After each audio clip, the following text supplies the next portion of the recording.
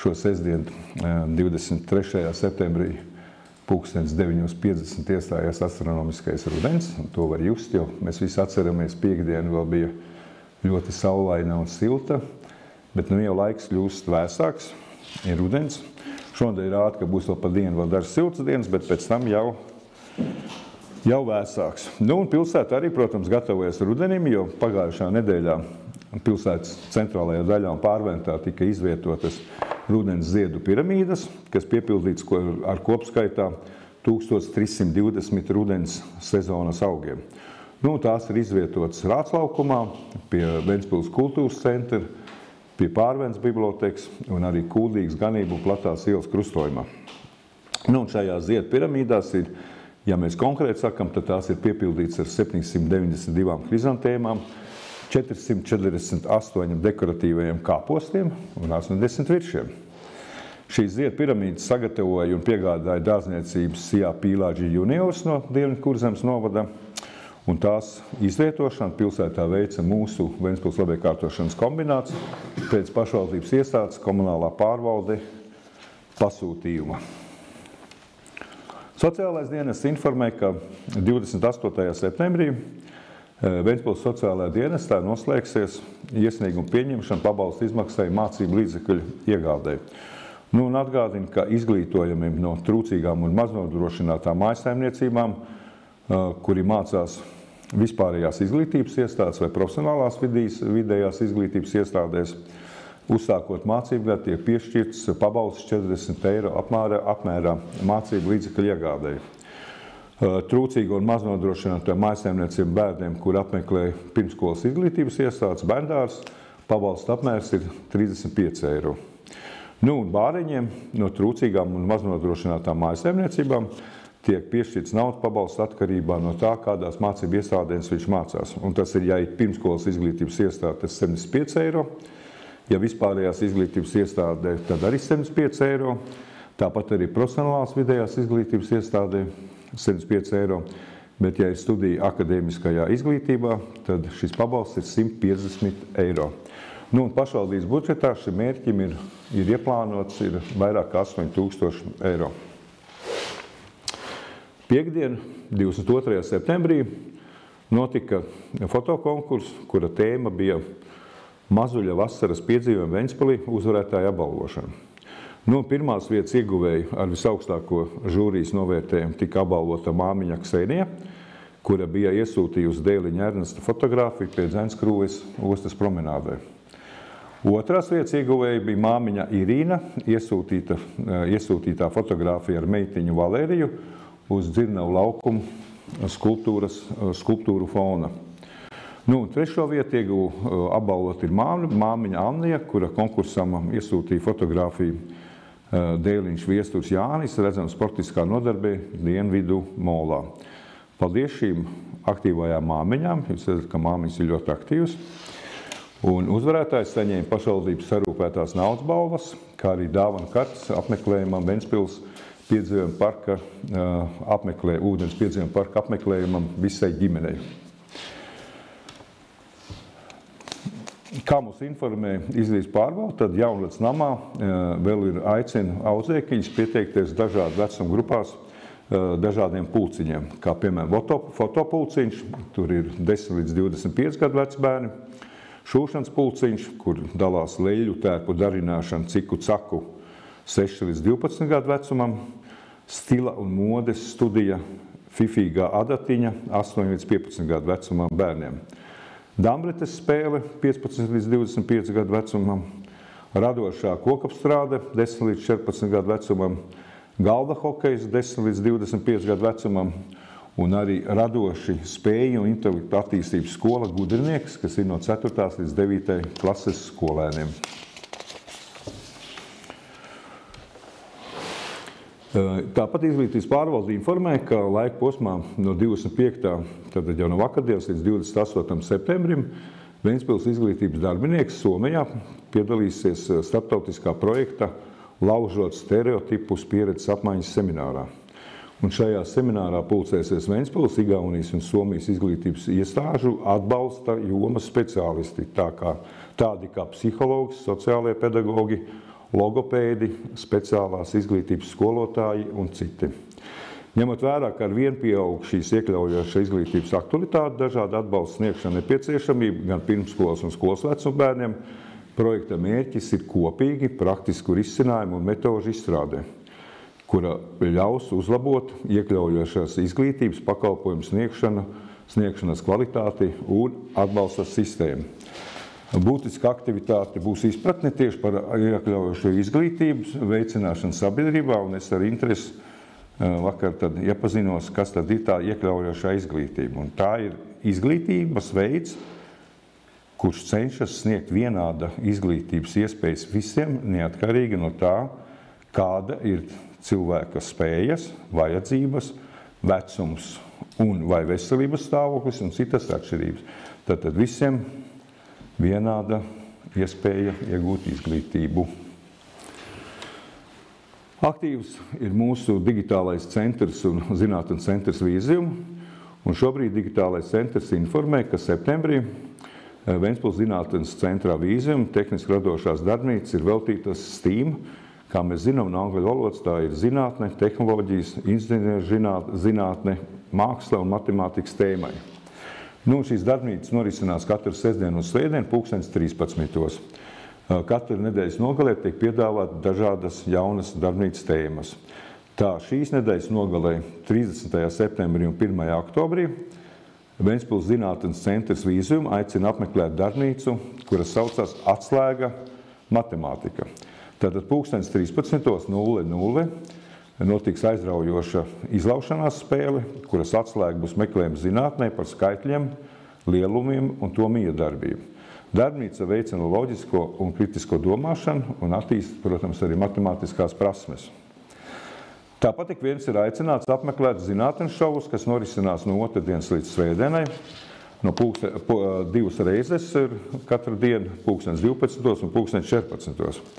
Tātad no otrdienas līdz svētdienai, pulkstens 12 ir šovs, kurš saucas Māksla eksperimentēt. Jo mēs visi zinām, ka ķīmiķis ir pavāram un māksliniekam ļoti līdzīga profesija, kurā jāprot pareizi savienot sastāvdaļas un krāsas, lai iegūtu pareizo rezultātu. Zinātnes šovs ataino dažādas interesantas ķīmijas eksperimentus, radītos brīnumus, piemēram, kā ķimikālijas un savienojumi var ietekmēt liesmas krāsu, kā sauslais ledus var izmainīt citu vielu krāsu un radīt maģiskus burbuļus. Un, protams, ne tikai tas. Nu, un pulksten 14. ir šaus nosaukuma atpakaļ skolā, kas šajā šovā mēs visi varēsim izbaudīt, kas notiek stundās un kas notiek starpbrīžos. Pētīsim dažādas trokšņus un skaņas, jo dažbrīd skolas gaitiņa nav tā klusākā vieta. Arī mēs visi atceramies, ka gājām skolā, ka, ja klasē ir klusums, notiek mācības, tad gaitenī ir tā īsta dzīve. Jo Tad mēs iemācīsimies interesantus trikus ar dažādiem skolā atrodamiem priekšmetiem, piemēram, lineālu un slotas kārtu. E, veiksim arī nekontrolēts atomreakcijas simulātoru, kas patiesībā vairāk atgādina pēdējo zvanu māja beigās. Nu, tāpat radīsim arī kārtīgs pērkondārds. Tā kā interesanti tēma atpakaļ skolā, kas notiek no otrdienas līdz svētdienai, katru dienu pulkstens 14. Nu, un atgādinām, ka šīs radošās darbnīcas un zinātnes šovs ir iespējams apmeklēt neatkarīgi no ekspozīcijas zāles, jebkurā interesšā dienā un laikā. Iegādāties e, biļetes uz šīm darbnīcām ekspozīcijas zāli un tāpat zinātnes šoviem ir iespējams gan mājaslapā vīzijum.lv un, protams, zinātnes centrā vīzijum kasē. Plašāka informācija ir, var rakstīt uz e-pastu info.lv etavīzum.lv un arī, protams, iepazīties vīzum sociālajos tīklos, kā arī vīzum.lv mājaslapā. To vajag atcerēties, jo arī nākošā ziņa ir, ka Ventspils digitālais centrs aicina ikvienu interesantu piedalīties bezmaksas radošajās darbnīcās, kur nosaukums ir kosmosa izpēte. Un šīs darbnīcas norisinās Eiropas zinātnes nakts ietvaros. Tātad zinātnē nakts aktivitāte norisināsies tieši 29. septembrī, 2015. līdz 18. no 3. līdz 6. pēcpusdienā. Digitālās transformācijas centrā. Kur abās zālēs būs sagatavotas dažādas interesantas aktivitātes par kosmosa tēmu. Tā austrumu zālē no 15. līdz 18. būs dažādas stacijās, būs iespēja uzzināt vairāk par zvaigznēm, mākoņiem, meteorītiem un starptautisko kosmosa staciju, izmantojot mobilās lietotnes, datorspēles, video un robotikas elementus. Turpretī rietumzālē no 17. līdz 18. Apmeklētāji varēs apgūt, kā izmantojot vienkāršus sadzīves priekšmetus, apdrukāt audumu vai kādu apģērbu gabalu. Nu, protams, vēlams ir paņemt līdzi apģērbu gabalu, kuram vēlaties piešķirt, tā var teikt, otro dzīvi. Darbnīcās aicināts piedalīties ik viens interesants, bez vecuma ierobežojuma, un šīs darbnīcas ir bezmaksas, un arī nav nepieciešama iepriekšējā pieteikšanās. Nākošā ziņa, ko mums eh, sniedz digitālais centrs ka, eh, un vīzijums, mūsu zinātnes centrs, ka eh, tieši vīzijum aicina ikvienu interesantu 29. septembrī piedalīties zinātnieku nakts aktivitātēs, kurās būs iespēja praktiskā, radošā un atraktīvā veidā iepazīt izcilus prātus, tātad pasaules slavenus izgudrotājus, zinātniekus un arī iepazīties ar viņu sasniegumiem. Pasākums norisināsies 29. septembrī no 19. līdz 22. Ventspils zinātnes centra vīzem otrā stāvā. Un ieeja zinātnieku nakts pasākumā būs caur zinātnes centra terasi otrajā stāvā. Pasākuma apmeklētāji varēs ne tikai uzzināt vairāk par pašiem zinātniekiem, bet arī praktiskā un radošā veidā izprast izgudrojumus un teorijas piedaloties katram zinātniekam veltītā darbnīcā vai aktivitātē. Piemēram, iemācīties rakstīt spoguļu attēlā, spoguļu rakstā, nodot ziņu ar morzes kodu, izveidot un iedegt spuldzi, kļūt par dabas pētniekiem, izmantojot mikroskopus un, protams, ne tikai. Ventspils augstskola vīzuma zinātnes nakts apmeklētājiem piedāvās praktiskas nodarbības – virtuālo ekskursiju par Irmenes radio eh, teleskopa teritoriju, Viktoro, Viktorīnu par astronomiju un fiziku, kā arī robotu paraugu demonstrējums. Nu, un, protams, ikvienam interesantam būs iespēja vērot zvaigznes ar teleskopu pie nosacījuma, nu, kāda būs laika apstākļi. Pasākums arī ir bezmaksas un pieejams ikvienam interesantam bez vecuma ierobežojuma. Pasākuma laikā būs pieejams arī tematiskais fotostūrīts, kur apmeklētāji varēs uzņemt e, jautras bildes zinātniskā noskaņā, kā arī darbosies kafejnīca Vest Café, kurā būs iespēja iegādāties uzkodas un dzērienus. Ekspozīcijas e, zāle šī pasākuma laikā būs slēgta. Nu, kā es teicu, arī jāskatās ir informācija uh, vīzijum.lv mājaslapā un arī sociālos tīklos. Līdz ar rudens iestāšanos vakar, tieši 25. septembrī, tika dots starts igadējam, nu jau astotajam Baltijas mēroga konkursam skolēniem no 1. līdz 12. klasēs skolēniem Ventspils IT izaicinājums 2023. Lai arī galvenais akcents joprojām ir tehnoloģiju radošais pielietojums, šogad konteksts ir līdz šim nebijis un izaicinošs skolēni tiek aicināti domāt zaļi. Nu, un īsumā par konkursu. Konkursā aicināt piedalīties 1. līdz 12. klases skolēni un arī profesionālo skolu, uh, skolu audzēkņi. Uh, dalībnieki uh, varēs piedalīties četrās vecuma grupās, veicot kādu no uzdevumiem. Nu, tā A grupa, tā ir 1. līdz 3. klasei, Skolēni no Latvijas var piedalīties šeit, un uzdevums būs sadarbībā ar depozīta iepakojuma operatoru. B grupa, kas ir no 4. līdz 6. klasē, uzdevums sadarbībā ar Latvijas valsts mežiem. C grupa no 7. līdz 9. klasē, uzdevums sadarbībā ar Elektruma energoefektivitātes centru, nu, un D grupa, kas ir skolēni no 10 līdz 12 gadiem, uzdevums sadarbībā ar TET. Nu, kā, skaidrs, ka šis konkurss norisinās pa posmiem, un konkurss pirmā kārta notiks līdz 6. novembrim. Šajā laikā ir jāizveido četras, četru dalībnieku komanda, kurā veido trīs skolēni un viens pieaugušais. Nu, šis pieaugušais var būt gan skolas pedagogs, gan vecāks, gan skolas direktors, krustvecāks, jebkurš pieaugušais, kurš ir gatavs atbalstīt jauniešus šajā dalībā konkursā. Nu, var ar šo pirmās kārtas uzdevumu iepazīties konkursu mājaslapā, kura saucas ventspilsits.com. Tur arī jāpiesaka komanda un arī jāiesniedz ir, pievē, ir paveiktais uzdevums. Nu, protams, protams, pēc tam ir jāgaida rezultāti, jau veiksmas gadījumā jūs tiksiet uzaicināti uz finālu, uz finālu Ventspilī. Un fināls Ventspilī notiks A grupai no 7. līdz 8. decembrim, B, C un D grupai no 6. līdz 8. decembrim. Nu, un fināla dalībniekiem organizatori nodrošinās naktsmītnes konkursu laikā Ventspilī, gardas maltītes, brokas, pusdienas un vakariņas, vīzijuma apmeklējums, ekskursijas un citi izklaides pasākumi. Nu, un arī transporta izdevuma kompensācija ir paredzēta.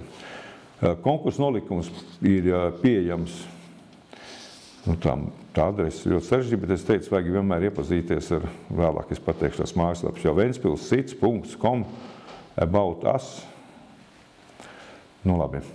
Un ļoti svarīgi tas, ka finālisti Ventspilī sadalīs ievērojumu naudas balvu 13 tūkstoši eiro, ko nodrošina Ventspils valsts pilsētas pašvaldība.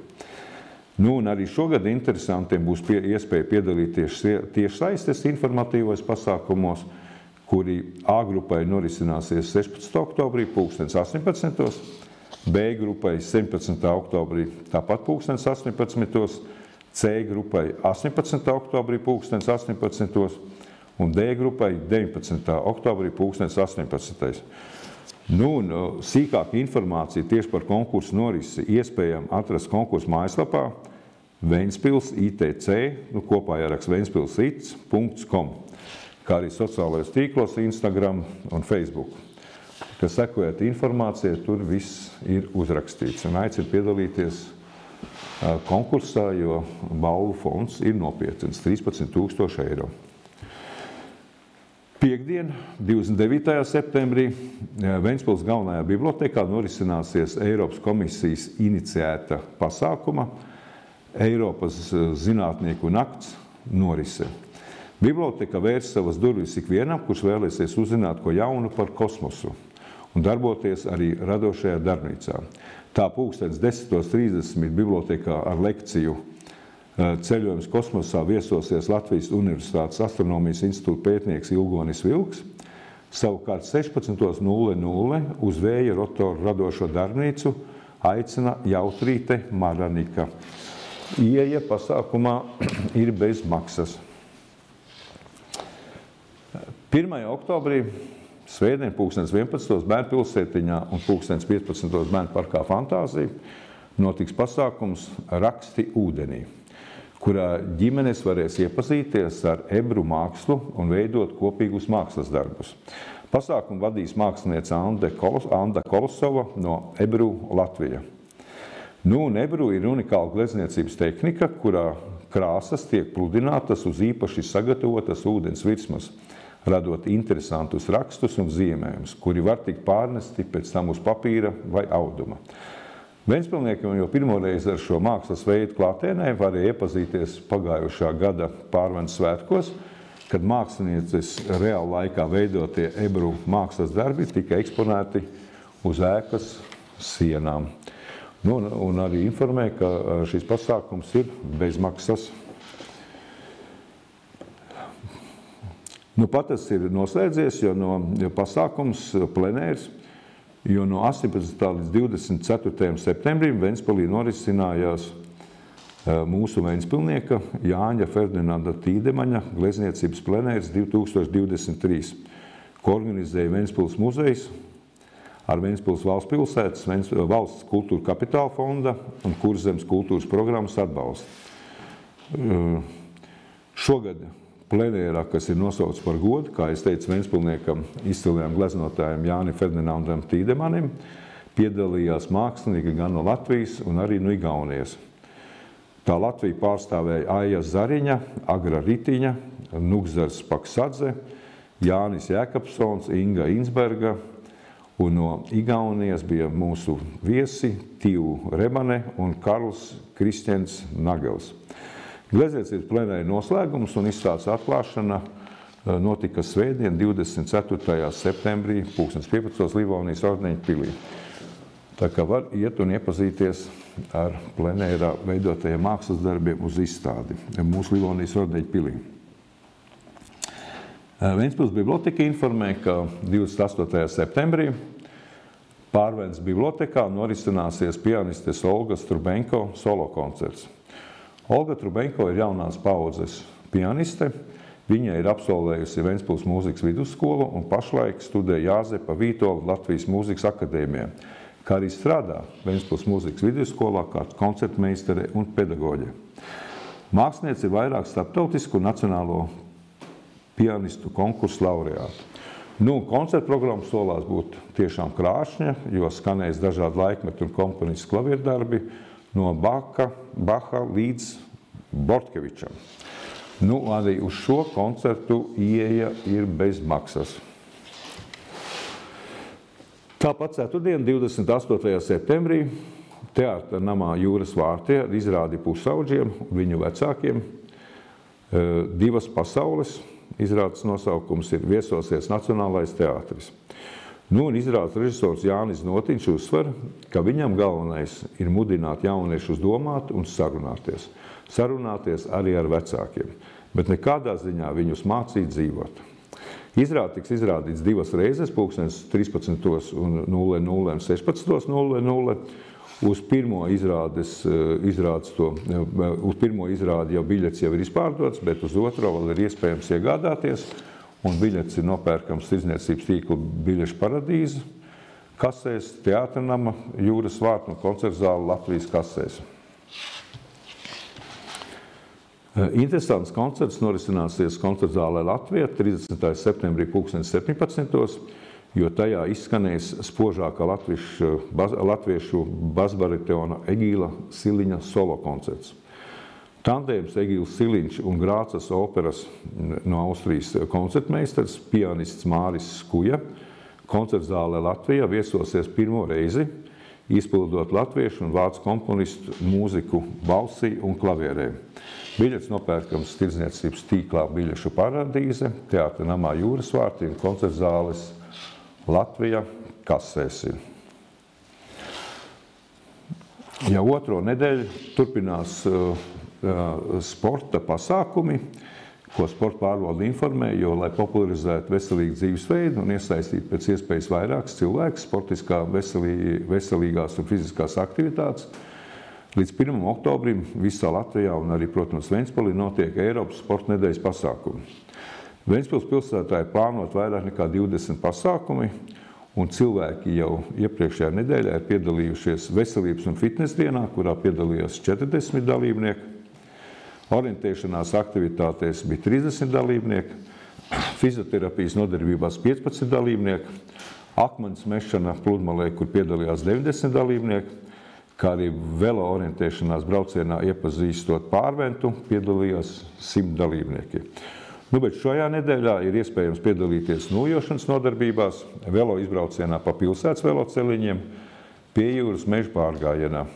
Tāpat ir plānots vingrošanas nodarbības senioriem, kā arī peldēšana pieaugušajiem, un dalībniekiem būs iespēja arī piedalīties orientēšanās sacensību azimuts posmā, kā arī minifutbolu sacensībās.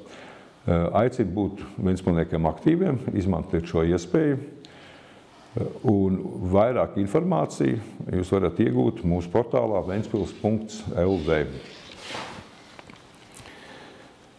Uh, nu pat noslēdzās starptautiskais turnīrs svarcāšanā Ventspils 2023, kurš notiks Sportnamā centrs, un tajā piedalījās 37 svarcēlāji no Lietuvas un Latvijas.